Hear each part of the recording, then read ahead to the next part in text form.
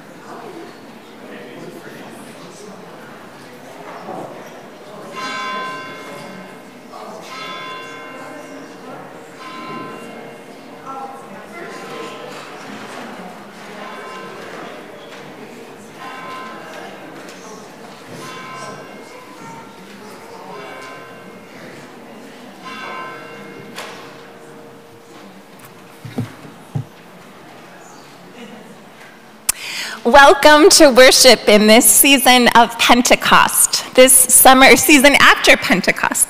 This summer, we are exploring Old Testament stories that help us know more of who God is and who we are as God's people. And today, we hear the story of how God calls Abram and Sarai and all of us into a future with hope, in which we are blessed to be a blessing to the world. A special welcome to guests today and to those worshiping at home. Let's wave to those who are at home with the cameras there. Welcome to worship. Uh, thank you to everyone who helped with the service for Vern Koenig and Lowell Erdman this past week and all who came to show their love and support. I'm so grateful for how Good Shepherd handles, works with families and shows up for funerals. It's really a blessing. Yesterday, many of us were part of the Northeastern Iowa Synod Assembly. Thank you to Chris Peterson, who attended as our voting member, and to Good Shepherd members Pastor Susan Friedrich and Pastor Melissa Bills, who were on the planning team for the assembly. Pastor Susan also serves as secretary of the Synod. Thank you for your service. And prayers are requested today for members of our synod who will travel to our companion synod in Hungary. Um, tomorrow they leave, and Susan and Norman Friedrich are part of that trip, so we'll include prayers for them in the trip today. And we rise now in body and or spirit for confession, printed in your bulletin.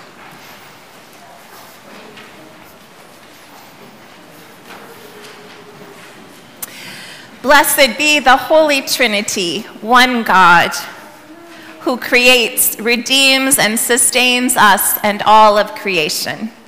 Amen. Let us confess our sin in the presence of God and of one another.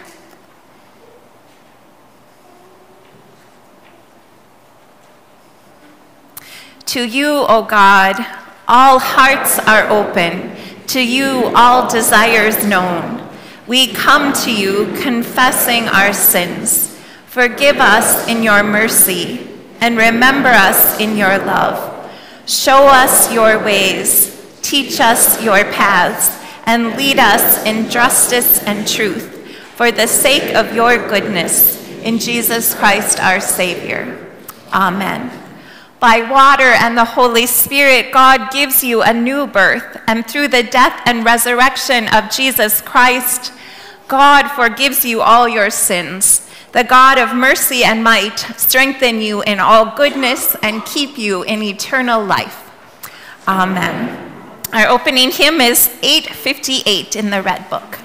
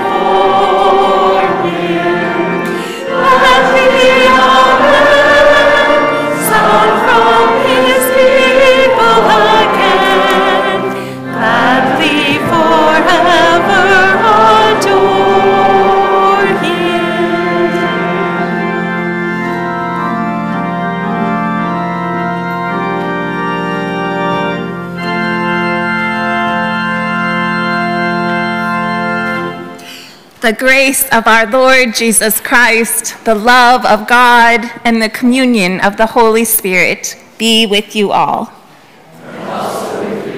We continue on page two in the Blue Book, and if you are new to this beautiful liturgy, um, behold, I make all things new. Just know that it is so much easier to sing than it looks, and um, it's such a beautiful liturgy, and the congregation will carry you. So just listen and join in song.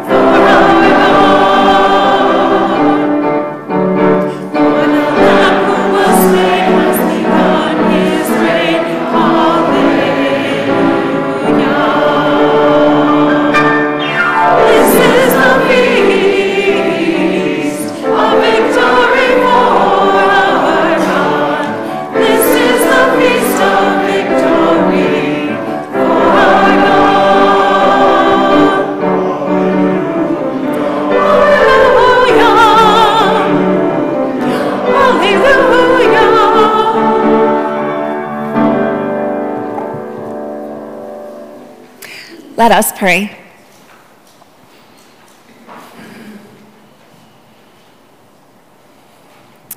Oh God, you love this whole world and work through your chosen people to bless all creation. Empower us to be a blessing so that all may know your life and your love through your Son, Jesus Christ, our Savior and Lord. Amen.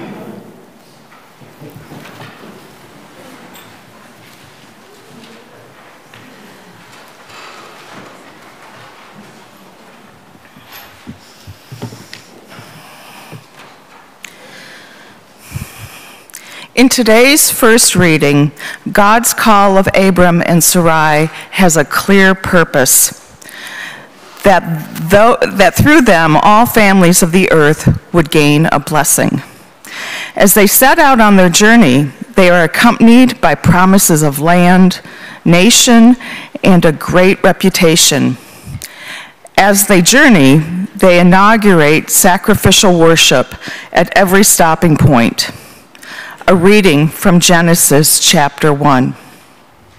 The Lord said to Abram, Go from your country and your kindred and your father's house to the land that I will show you.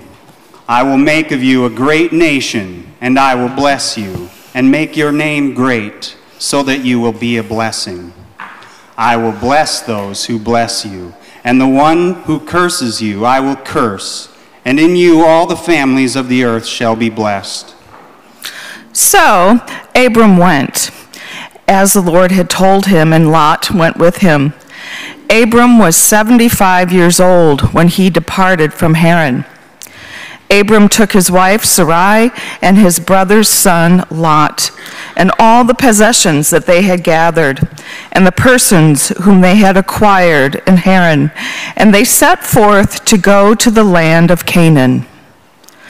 When they had come to the land of Canaan, Abram passed through the land to the place at Shechem, to the oak of Moreh at that time, the Canaanites were in the land. And then the Lord appeared to Abram and said, To your offspring I will give this land. So he built there an altar for the Lord who had appeared to him. From there, he moved on to the hill country on the east of Bethel and pitched his tent. And with Bethel on the west and Ai on the east, there he built an altar to the Lord and invoked the name of the Lord. And Abram journeyed on by stages toward Negeb. The word of God, word of life. Thanks be to God.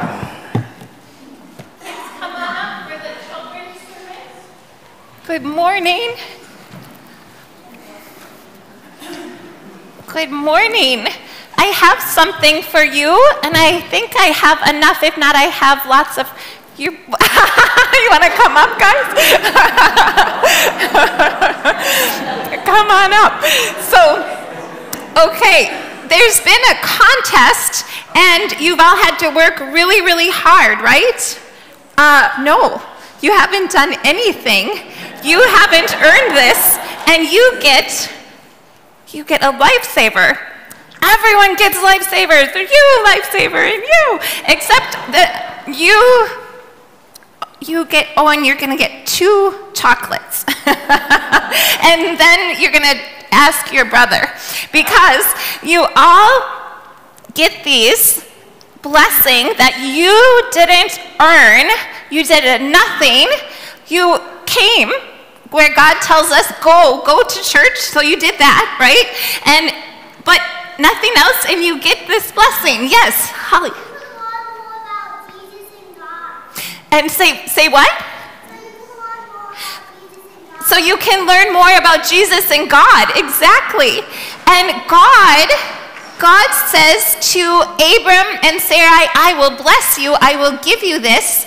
And they've done nothing, but then they are to be a blessing to other people. So you got this blessing, this candy, and you get to share that blessing, especially Theo with Owen. And I have one more that I will find for you afterwards. It's just, I, you, yours is coming. But um, you, there, there's, there were a few more hidden away. So we'll get, but you get to share so that you get to have some of this, but you also get to share this. And that's what happens for Abram and Sarai. They get this blessing, and then they're supposed to bless other people with it. So you have this wonderful blessing of lifesavers, and then you get to bless other people like the people around you who are sitting there. You can share with them, especially right now. You can share Theo, okay? So, um, so that's what's happening in the story and what we will be thinking about in the sermon. So let's pray. Let's repeat after me. Dear God, Dear God thank you for blessing us.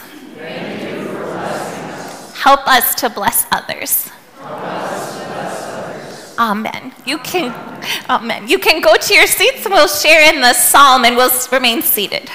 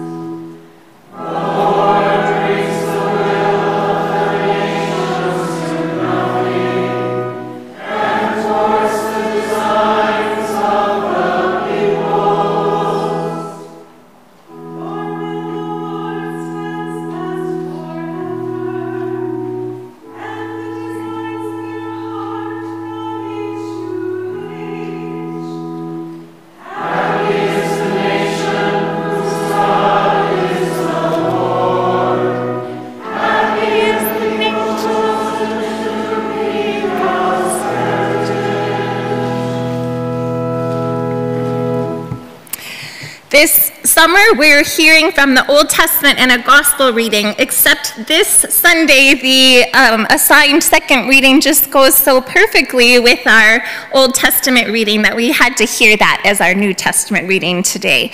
So um, it, our New Testament reading is from Romans, the fourth chapter.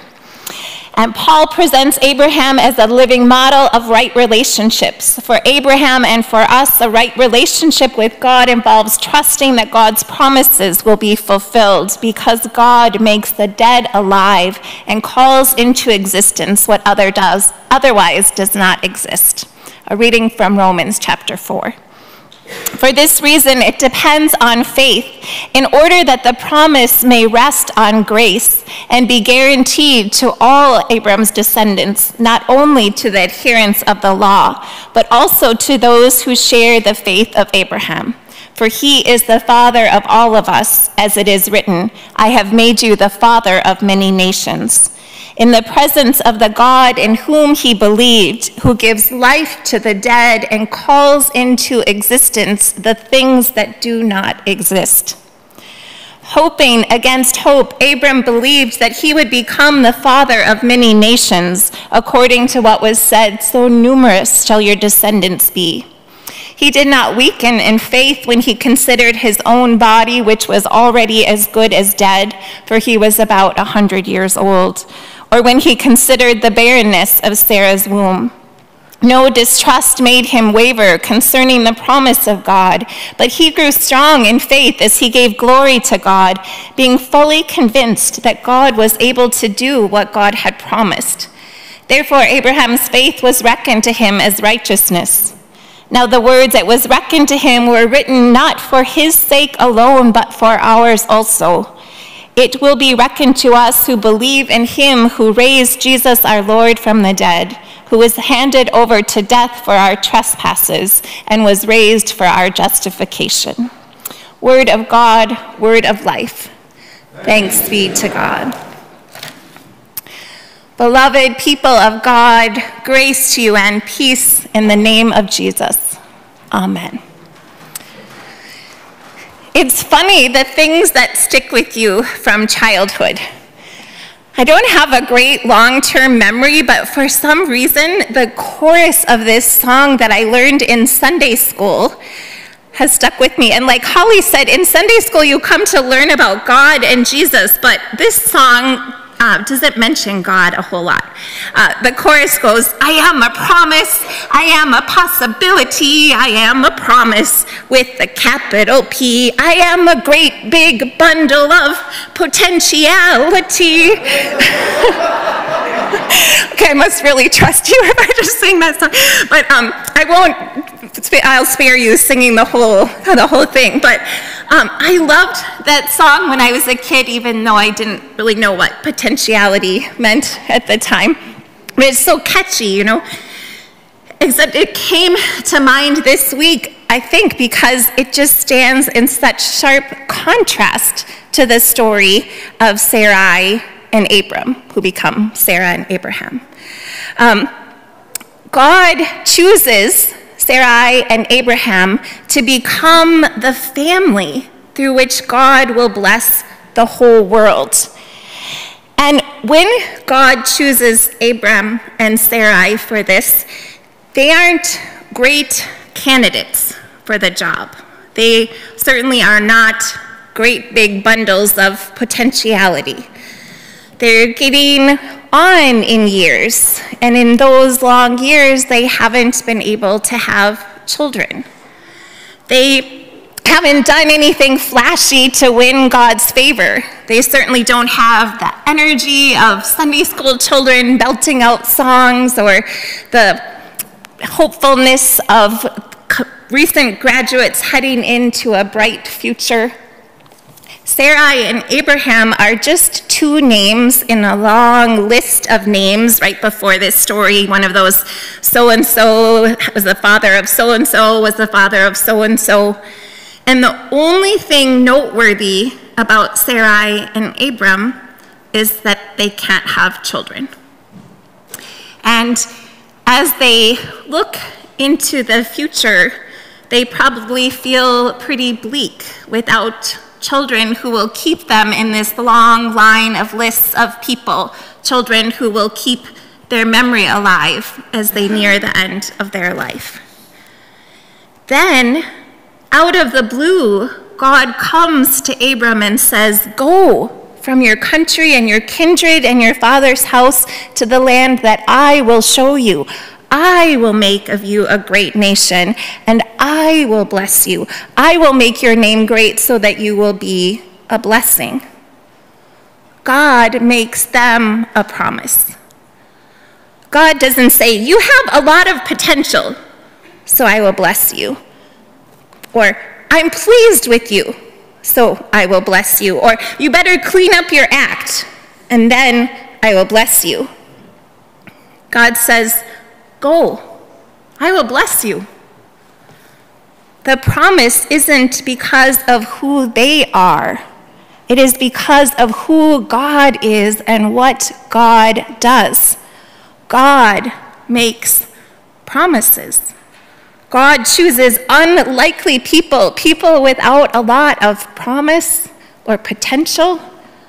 God does something new when all looks bleak and barren and hopeless.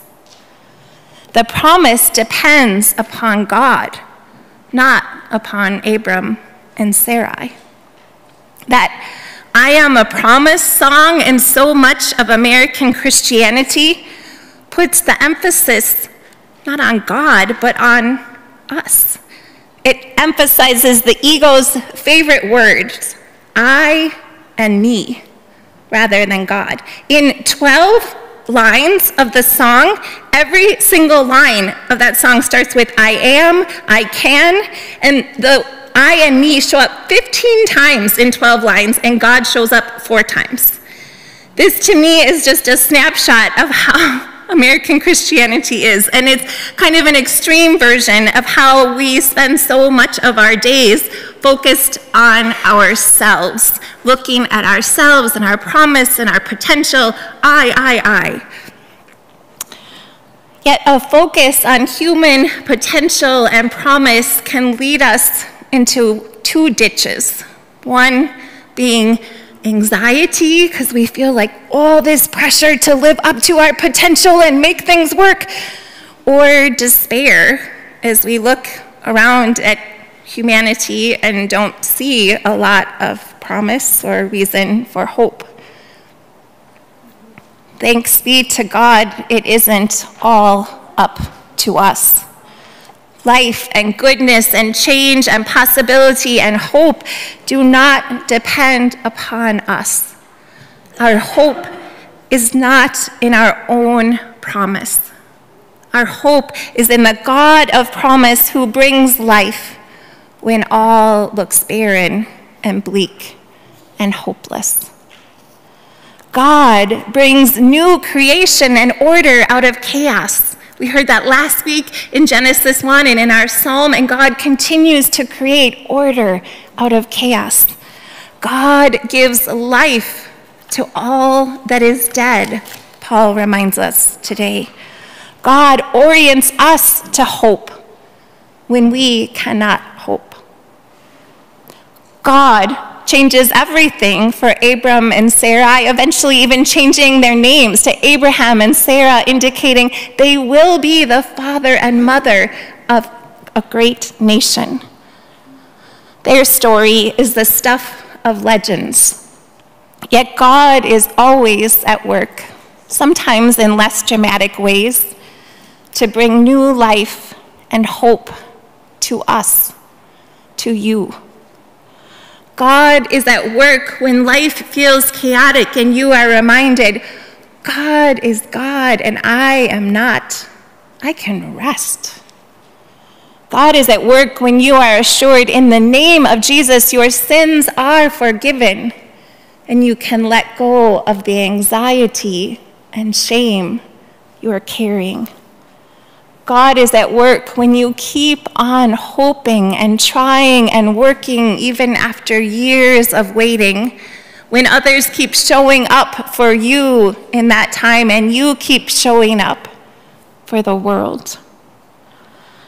Whether you are feeling flashy or bleak, despairing or full of potentiality, God is at work in, for, and through you.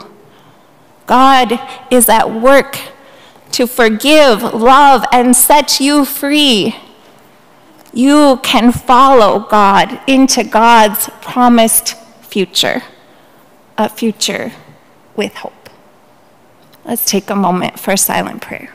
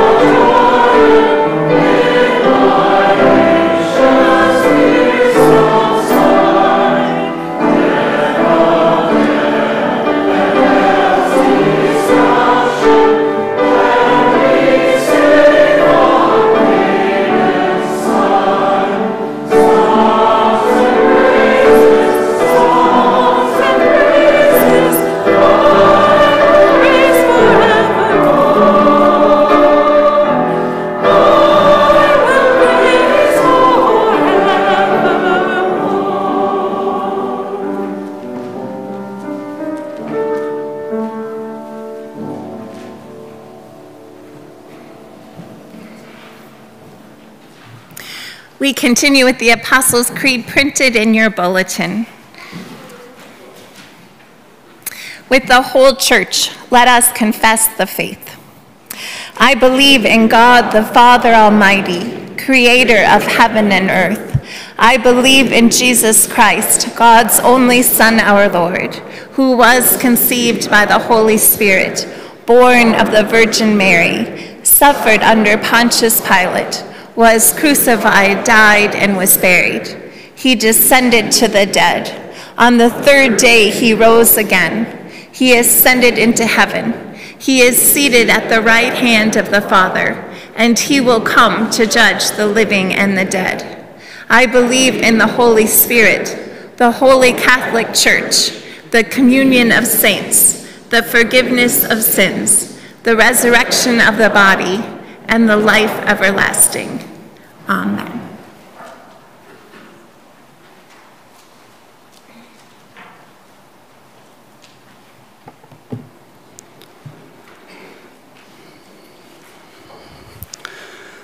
Trusting in God's abundant mercy, let us offer our prayers for a world in need.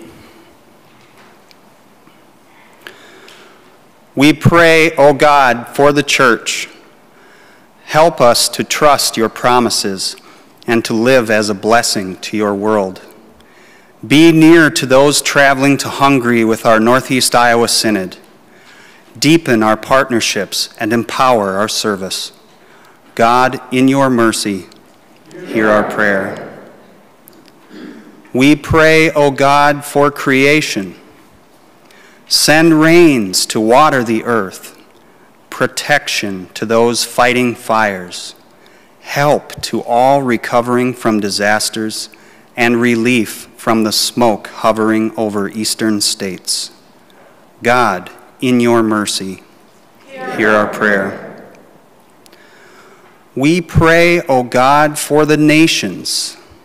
Where chaos reigns, bring order through good government that helps all people to flourish where things look stuck and hopeless, inspire creative solutions and new ways forward.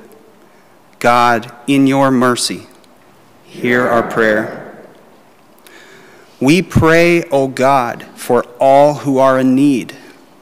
Accompany those longing for children, all whose futures feel bleak, all who are ill, and those grieving a loved one's death.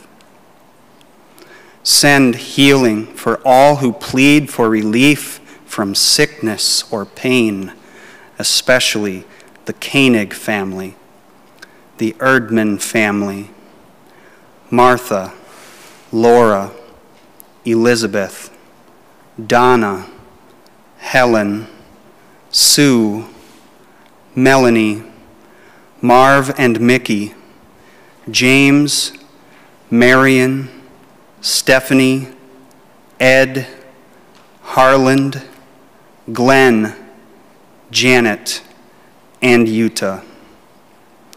God, in your mercy, hear our prayer. We give thanks, O God, for all the saints. Renew our faith that you can do what you have promised and raise us with all our beloved dead to new life. God, in your mercy, hear our prayer. Hear now the prayers of our hearts.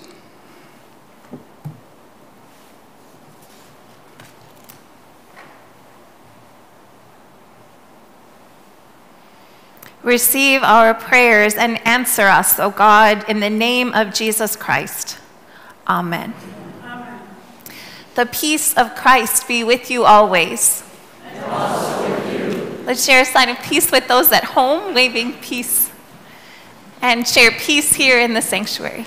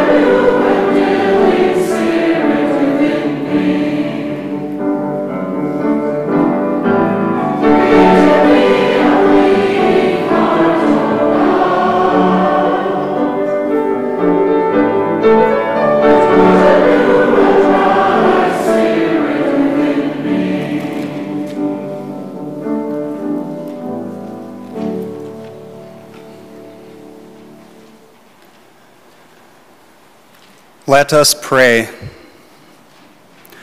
God of field and forest, sea and sky, you are the giver of all good things. Sustain us with these gifts of your creation and multiply your graciousness in us, that the world may be fed with your love through Jesus Christ, our Savior and Lord. Amen. 10 in the booklet.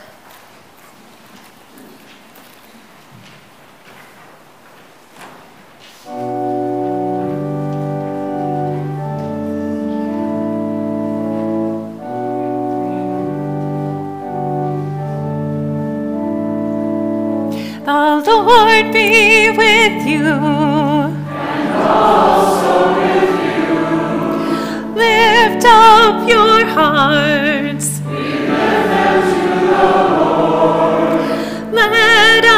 Give thanks to the Lord our God.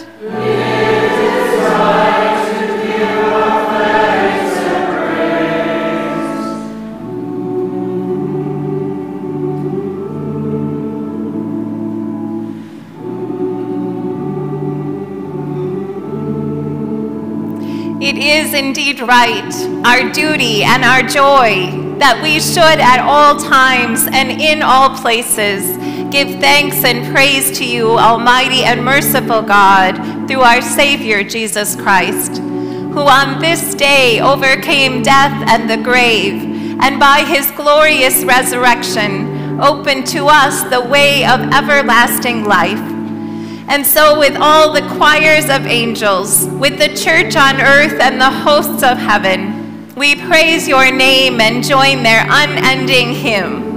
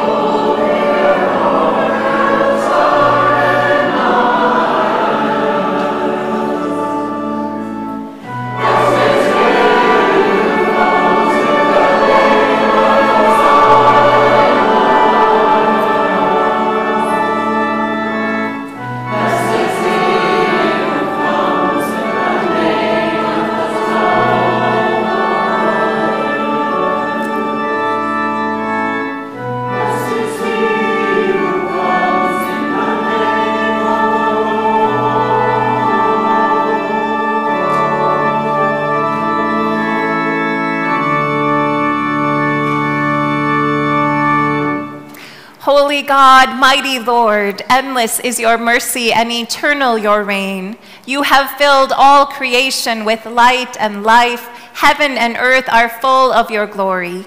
We praise you for the grace shown to your people in every age, the promise to Israel, the rescue from Egypt, the gift of the promised land, the words of the prophets, and at this end of all the ages, the gift of your Son, who proclaimed the good news in word and deed, and who was obedient to your will, even to giving his life. In the night in which he was betrayed, our Lord Jesus took bread, gave thanks and broke it, and gave it to his disciples, saying, Take and eat. This is my body given for you. Do this for the remembrance of me. Again, after supper, he took the cup, gave thanks, and gave it for all to drink, saying, This cup is the new covenant in my blood, shed for you and for all people for the forgiveness of sin. Do this for the remembrance of me. Remembering, therefore, his death, resurrection, and the sending of the Holy and life giving Spirit, we await his coming again to renew the face of the earth. Send now your Holy Spirit upon us and upon this meal. Anoint us with your gifts of faith, hope, and love, that with thankful hearts we may be witnesses to your Son, through whom all glory and honor is yours, Almighty Father, with the Holy Spirit in your holy church, both now and forever. Amen. Gathered into one by the Holy Spirit, let us pray as Jesus taught us. Our Father, who art in heaven, hallowed be thy name. Thy kingdom come, thy will be done, on earth as it is in heaven. Give us this day our daily bread, and forgive us our trespasses, as we forgive those who trespass against us. And lead us not into temptation, but deliver us from evil. For thine is the kingdom, and the power, and the glory, forever and ever. Amen. The body and blood of Christ is given for you at home again and again. And for you in the sanctuary, here Christ's word becomes flesh and promises for you that you can taste and touch and trust. All are welcome at Christ's table. The ushers will direct you up where you can kneel to, at the altar rail, hold out your hands for gluten and dairy free bread, and you'll be offered red wine or grape juice. There is, or white grape juice. There are individual servings or indicate if you need a blessing. There is a place for you here.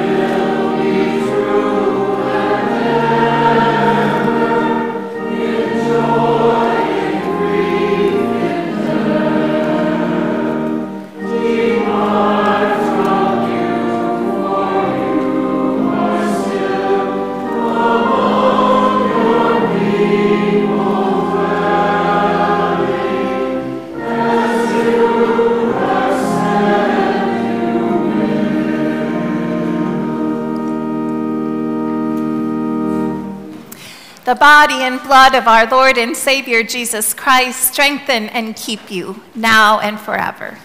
Amen. Amen. Let us pray. Gracious God, in you we live and move and have our being. With your word and this meal of grace, you have nourished our life together. Strengthen us to show your love and serve the world in Jesus' name. Amen.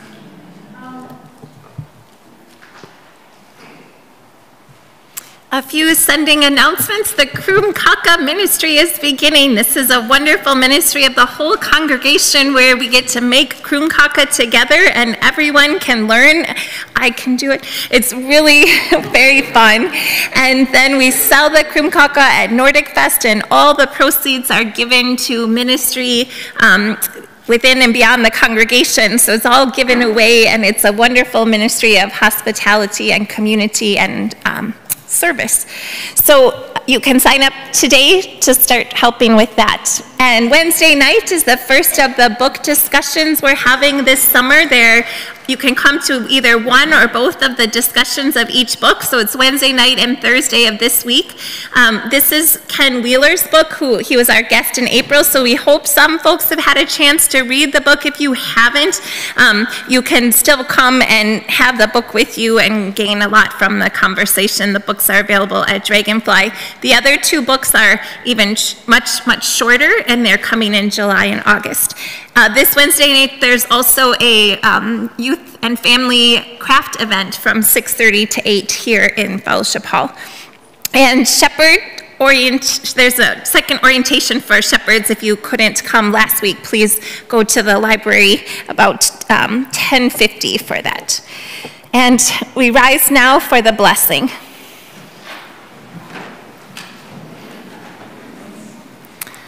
The God who calls across the cosmos and speaks in the smallest seed, bless, keep, and sustain you now until the end of the age.